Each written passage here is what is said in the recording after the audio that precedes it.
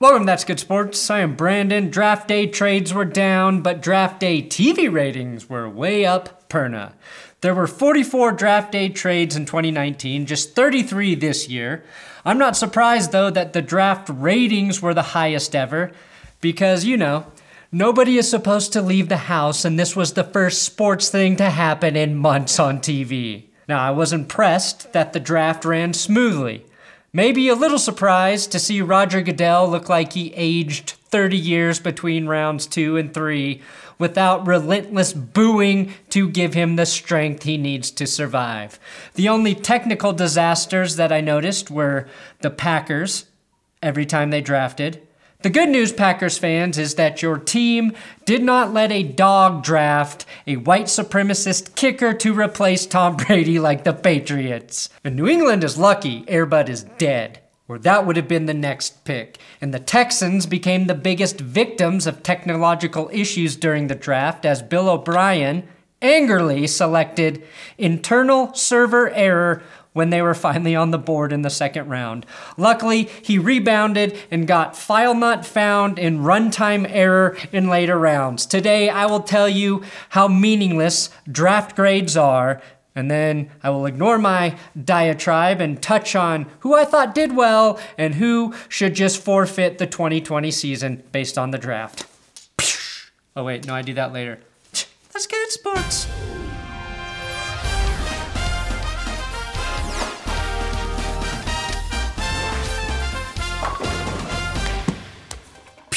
Please subscribe to this channel if you're new here. If you're old, click the notification button so you know when I make new NFL news videos. That's what I do here. I do have big dick Patreon shoutouts for new patrons, and there's a lot because I'm behind Scott, Kinder, Antonio, Day, La, O, Austin T. Jones, Chris Sanders, Amish Gone Bad, Nick Russell, Keith Anderson, Tatted Griffin, Lil Baby Chihuahua, Bitch Dog, Gage Hanjobson, FKA as Mr. 10,000 IQ. Okay? Max Strahan upping to $5. Michael Pimentel, Poopy Pooey, I am Poopy Boy, Justin Time, yes, a real Chargers fan, Lake Brain Cloud, Locke, charter member of the BioRef Foundation, Oak Diggy, Jason Blood, upping to $20. Matt Neeson, Dave Portnoy. Come on, Dave, you know I'm waiting for you to buy me in a multi million dollar buyout.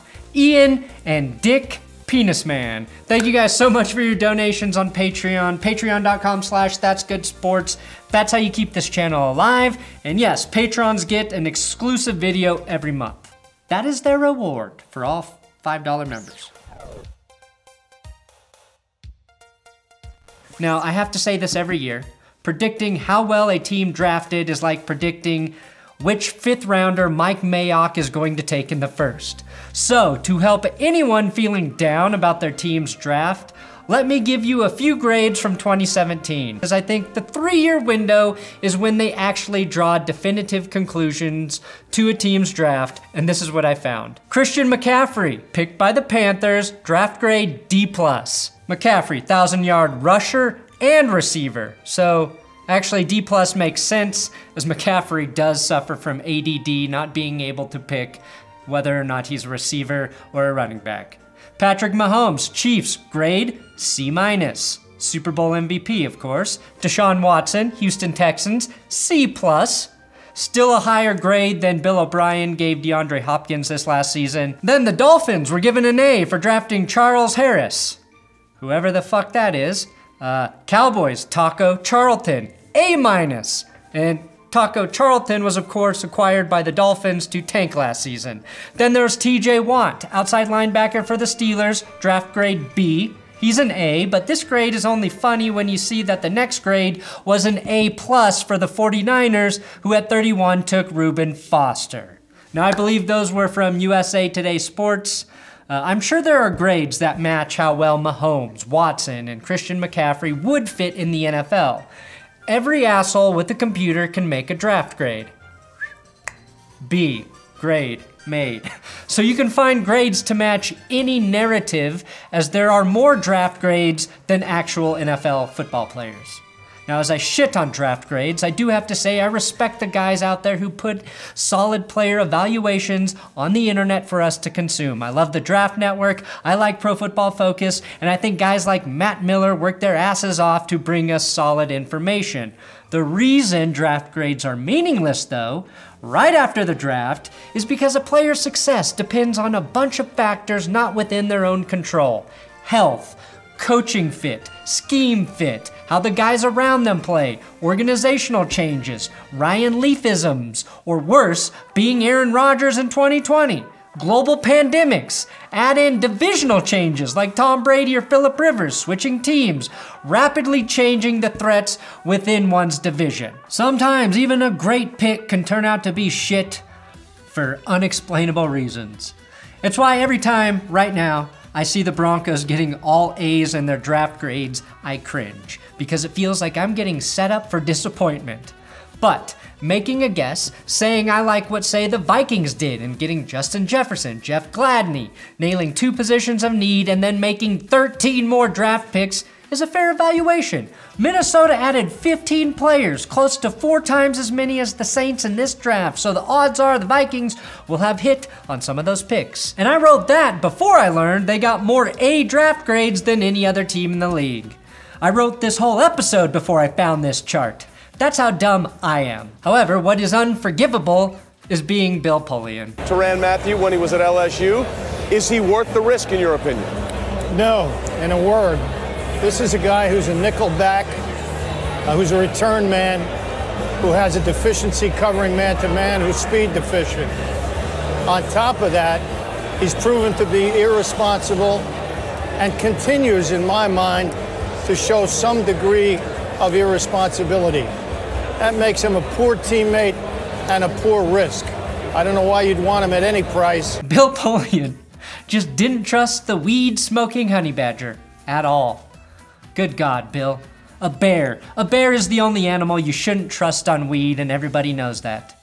Now, we forgot about this take because Polian topped himself saying Lamar Jackson should be a wide receiver last year and that Chad Kelly was the best quarterback prospect in the 2017 draft. Polian started out as an NFL scout, drafted Peyton Manning, won a Super Bowl as the Colts team president, and yet his player evaluations on TV are straight garbage. Why? Well, probably because he was born during World War II. The only way that a draft grade makes sense is in terms of value. Did a team take a player in a spot earlier or later than many projected that player to go? We have no idea how these guys will play, but we can say that the Raiders were foolish to take Clelin Ferrell at six because they could have had him with one of their other later picks. Same goes for Damon Arnette this year. The draft is half player evaluation and half money ball. One third dumb fucking luck and 99% hand size. Don't check my math on that. The draft is all about acquiring the greatest number of best prospects in the most efficient manner. That's the only thing worth grading at this point, in my opinion. Just give every team a B in your grades, and you will look competent in about three years. Packers not included this year. The teams that I thought did well in this draft were the Broncos, which I have already covered in depth here. I also like what the 49ers, Giants, even the Jets, Cardinals, Buccaneers, Vikings, Dolphins, Ravens, and the Cowboys. I like what those teams did. I applaud the Buccaneers for keeping it simple. Get a right tackle to address the biggest need on offense, which is right tackle, which they did in taking Tristan Wirfs, the best right tackle in the draft probably. Then taking a running back in the third and a flyer on another running back in the seventh, and then throw in another receiver just for shits and giggles. Drafting, though, is easy when you do have a quarterback. All teams with good quarterbacks get a draft grade of a B+. Now, the teams that perplexed me made me question whether or not we are all living in a simulation where the Packers, Packers, the Green Bay Packers, maybe the Chargers if Justin Herbert is as bad as I think he is, the Eagles, Seahawks, and Patriots. Now, I can't go into depth on all of these teams today, but I will recap all of the divisions over the next few weeks slash months. The Patriots drafted a kicker whose kicks lean so far right he was labeled a racist the next day. It was the wrong position, but at least Bill Belichick's dog found someone with the same appreciation for the whites as Tom Brady.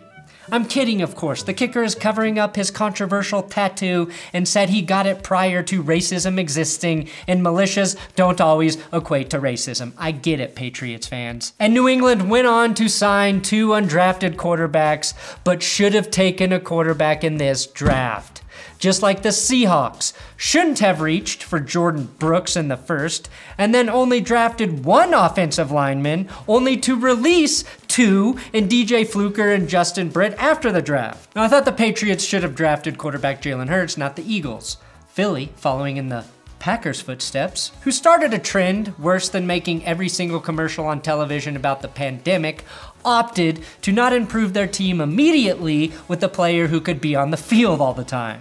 But then again, the Eagles only win Super Bowls with backup quarterbacks, so maybe this is an elite move. But then again, Carson Wentz and Jalen Hurts both watched backups win the big game while they were on the bench. My prediction Carson Wentz and Jalen Hurts are both injured, and then Nate Sudfeld becomes the next Eagles Super Bowl MVP. Now, the Eagles and 49ers flipped sixth round picks, with Philadelphia getting wide receiver Marquise Goodwin. I like the addition of Goodwin to their roster, and I think overall, Philly actually had a pretty solid draft with one perplexing selection in Jalen Hurts. If Green Bay finished the way Philly did, we wouldn't be putting the Packers into the worst draft ever category. But smartly, Andy Benoit gave the Packers a draft grade of B minus. Now, nobody knows why the fuck the Packers did what they did. It seemed pretty obvious that they should go wide receiver at some point in the first three rounds, especially for a team who hasn't done that in the last six years. I liked at Ian Kenyon NFL's tweet. Gutekunst's plan? One, let's replace Aaron Rodgers, who is on a four-year deal. Two, let's replace Aaron Jones, who led the NFL in touchdowns. The Packers, with their first two picks, added depth to their two strongest position groups, and even more bizarrely, not with best player available picks. And with their third round pick, with one of the deepest wide receiver classes still offering plenty of help for Aaron Rodgers, the Packers took Josiah DeGuara, who they intend on turning into an H-back. I better give Packers fans their preparation H back. No doubt the stress is going to give them hemorrhoids. Aaron Rodgers was probably watching Drew Lock from afar in the same way he watches his family Christmas, in complete jealousy and disgust. Now, John Lynch has turned into an elite GM. What the 49ers did over draft weekend was impressive. They drafted their replacement for DeForest Buckner and Javon Kinlaw, got their wide receiver at the top of the first in Brandon Aiyuk addressing two big areas of need. But then Joe Staley, their Pro Bowl left tackle, decided to retire on Saturday, and somehow John Lynch finally got the Washington Potatoes to deal their Pro Bowl left tackle Trent Williams for a fifth round pick this year and a third rounder next year. The Redskins picked tackle Saahdiq Charles, Trent Williams' replacement, a good 30 seconds after the Trent Williams trade was announced. So they did not waste any time. Trent Williams played with Kyle Shanahan in Washington, so that's a great fit. And the fact that John Lynch gave up so little when everyone was reporting the Potatoes wouldn't take anything less than a first rounder for Trent Williams is some pretty savvy GMing. The 49ers have plenty of riches at running back, which is why they then dealt running back Matt Breida to the Dolphins for a fifth rounder, which they used on tackle Colton McKivitz. Dolphins fans, you should be rock hard for Hard Rock Stadium games moving forward. Having Matt Breida and Jordan Howard together is a decent running back tandem. You got Tua, which will be like having Deshaun Watson in a couple years, good health pending. One of the best tackles in the draft in Austin Jackson, even though many will call it a reach. And then nine solid picks, with my favorite being Solomon Kindley, the meanest son of a bitch you ever met. The reason I think the Dolphins did well is Tua plus low expectations for the Dolphins. Low expectations is the key ingredient for success after the draft. Jacob Eason, Sex House Episode 1, Draft Day aired, and was finally taken by the Colts. And I admittedly know very little about Eason except two people at his home had sex and then walked out of the bedroom dressing themselves and fixing their hair. Big question here was this a threesome? And will Philip Rivers mentor Eason, knowing Eason may have had sex and not made a kid? We have nine months to know the truth. Colts get an S for sexy draft. Jerry Jones, with the power of the sea and the help of Aquaman, had a hell of a draft from his $250 million yacht. Jerry deserved to be rewarded for a great draft with a celebratory gangbang. And boy, was he. Now, Jones helped Mike McCarthy have his best draft in years, which again has to make Aaron Rodgers, who wanted McCarthy ousted, feel like Jerry Jones's insides after that gangbang. The Cowboys, after paying Amari Cooper 100 million in free agency, took CeeDee Lamb. Lamb, Cooper, and Michael Gallup, that's the type of receiving trio that should piss off Giants, Eagles, and Potatoes fans. But the Cowboys also got great value in the draft. If Jerry Jones would have just started drafting from a boat years ago, Dallas could have won a Super Bowl with Tony Romo. Now, I'm not ruling out that this was a Creed Thoughts type situation where Jerry Jones was making his picks on a Fisher Price telephone while Stephen Jones did the real drafting. Haha, Jerry Jones here from the Dallas Cowboys. I just want to phone in. I'm selecting Johnny Manziel with the first round draft and 2020 draft pick. Oh, Jerry. Hello, Jerry again. Uh, give me the cow goes moo as I draft from the moon. Jerry Jones. No, thank you, Commissioner Rozelle. Jerry Jones. Can you hear me? Yes, Jerry again. I think I've been captured, being held hostage on some sort of boat. Yeah, I think about some unsavory things about to happen. I need rescuing. Jerry Jones, come get me. Jerry Jones, everybody. And finally, Jameis Winston has signed with the New Orleans Saints. Probably because he has literally completed more passes to Saints players than Taysom Hill. Now, Taysom Hill also has been extended through 2021 in New Orleans and now makes more money than Patrick Mahomes. But let's be honest, Mahomes only plays one position far less valuable than being a quarterback slash running back slash receiver slash special teamer. And if you remember, the Saints are currently embroiled in some major controversy, nearly erased by the coronavirus. Their owner and PR team helped the archdiocese in New Orleans do damage control for their disgusting priest pedophiles. I did a video about this a while ago, but knowing how well equipped the Saints are to deal with rapists, I think that makes them the best fit for Jameis Winston in the NFL. Outside of maybe the Steelers. The Saints only had four draft picks, making them the easiest team to draft evaluate. Thank you, Nola, and for that alone, you're the only team I actually give an A. Thanks for watching another episode of That's Good Sports. Draft blah blah. Draft blah blah blah blah blah blah blah. Yeah. Did that help anybody subscribe? Were you on the fence about subscribing? And then I did draft blah blah blah. And you decided, you know, that's the channel for me.